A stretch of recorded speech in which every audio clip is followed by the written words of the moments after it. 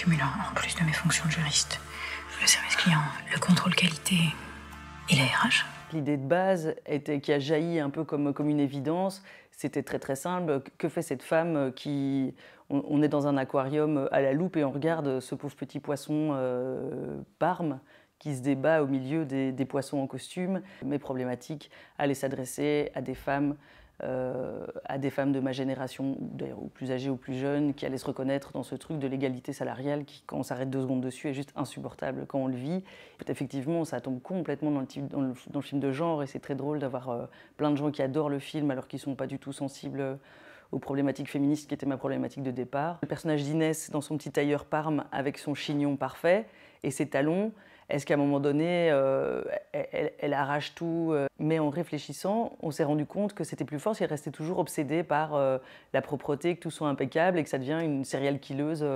Mais voilà, cette idée qu'elle reste nickel jusqu'au bout et donc que sa machine de nettoyage s'emballe, mais qu'en même temps, il y a comme une libération. C'est un film sur donc des, idées de valeurs féministes, et donc antisexistes, antiracistes, etc. Ici, c'est vrai que ce qui est drôle, c'est qu'on sort avec, tout le monde sort avec un sourire jusqu'aux oreilles et tout en ayant absorbé euh, un contenu politique à l'insu de son plein gré. Dans les surprises maintenant du film en salle, c'est que ça plaît pas mal aux, ados ou même aux grands enfants, parce qu'effectivement, euh, finalement, il y a un peu de sang, mais ils en voient quand même tout le temps, et que l'humour désamorce bien euh, le, côté punchline et tout ça. Donc voilà, c'était oui un buddy movie avec deux, deux femmes très différentes. Bon, évidemment, le casting est venu rajouter quelque chose où elles sont toutes les deux bien plus, bien plus dingue que ce que j'espérais sur papier. Il y a celle qui est là depuis toujours et qui se rend compte de rien, qui est la seule femme.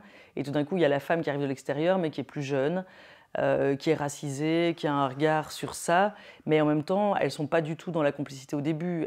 la, stagiaire méprise euh, la vieille ringarde et la vieille ringarde prend un peu de haut l'autre pour lui expliquer la vie, alors que la vie, c'est de se tirer de ce bureau où il y a, a que de la maltraitance. On a travaillé sans cesse à construire le fait que, d'une part, Inès est dans un empouvoirment au fur et à mesure de l'action. Et donc le premier mort, elle ne pouvait pas le tuer elle-même. L'idée, c'était une gradation pour qu'au moment où enfin elle va buter quelqu'un euh, vraiment elle-même de manière ostensible, puisque chaque fois c'est un peu comme par hasard, et puis vraiment de manière ostensible, on est juste joyeux, les cadavres s'empilent, ce qui est juste horrible, évidemment, et complètement amoral, mais on a réussi à construire un truc où euh, voilà, quelque part, elle, elle, prend le pouvoir sur les choses, elle y arrive, euh, et on est heureux pour elle, malgré le sang qui coule.